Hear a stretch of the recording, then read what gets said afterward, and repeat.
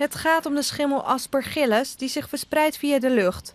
De schimmel is niet overdraagbaar van mens tot mens en gezonde mensen worden er ook niet ziek van.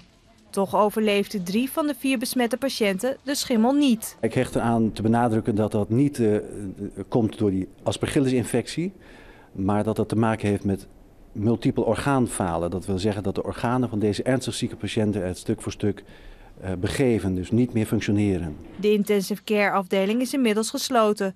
Patiënten die niet aan de beademing lagen zijn overgebracht naar andere ziekenhuizen. In het Gelder ziekenhuis zelf zijn nu vijf intensive care bedden ingericht op de operatieafdeling. Waar de schimmel vandaan komt is nog niet duidelijk. Betrokkenen zijn op de hoogte gebracht. Wanneer kan de afdeling weer open?